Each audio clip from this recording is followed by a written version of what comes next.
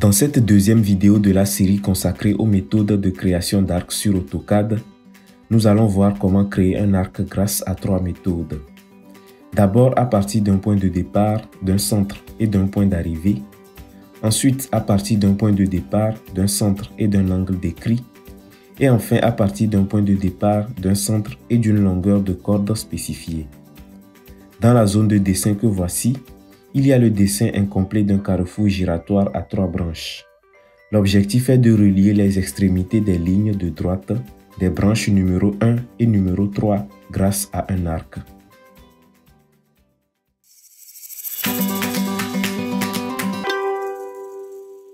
Pour utiliser la première méthode qui consiste à spécifier un point de départ, un centre et un point d'arrivée, je vais à l'onglet Début, puis à l'objet Arc.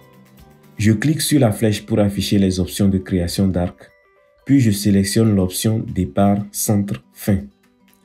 Il m'est demandé de spécifier le point de départ. J'effectue un clic à ce niveau pour spécifier ce point de départ. Ensuite, je spécifie le centre de l'arc et enfin le point d'arrivée. Et voilà, je viens de créer un arc grâce à la première méthode qui consiste à spécifier un point de départ, un centre et un point d'arrivée. Pour passer à la deuxième méthode, je vais effacer l'arc que je viens de dessiner. Pour cela, je le sélectionne, puis j'appuie la touche Supprimer.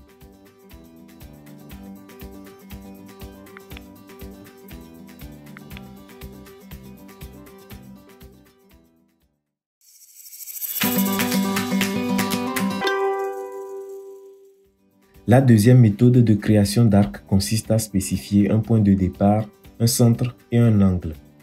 La contrainte au niveau de cette méthode est qu'il est nécessaire de connaître la valeur de l'angle qui sera décrit par l'arc à dessiner. Pour cela, je vais d'abord créer un angle grâce à deux lignes. Je fais alors appel à l'objet ligne.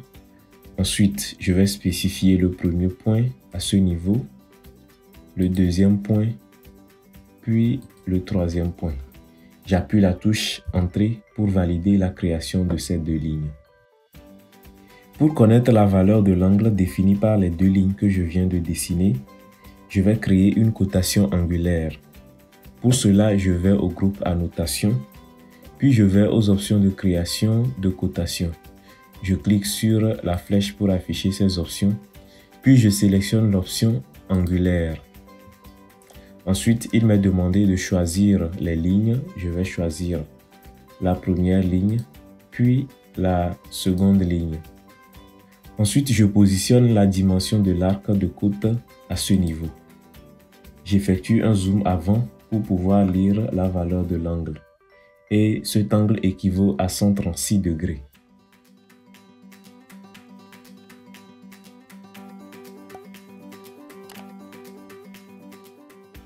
À présent, pour créer l'arc à partir de la deuxième méthode, je vais à l'onglet Début, puis au groupe Dessin. Ensuite, je clique sur la flèche pour afficher les options de création d'arc et je vais sélectionner l'option Départ, Centre, Angle.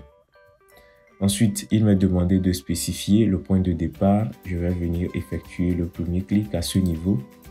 Ensuite, le centre de l'arc.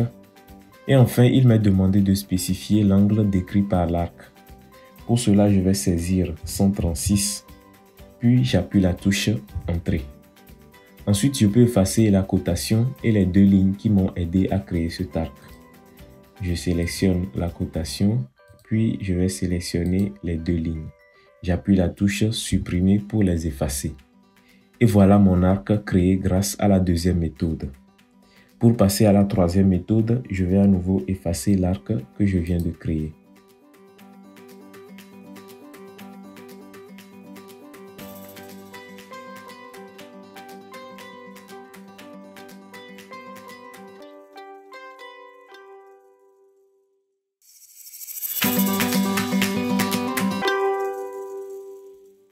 Pour utiliser la troisième méthode de création d'arc, qui consiste à spécifier un point de départ, un centre et une longueur de corde, je retourne à l'objet arc.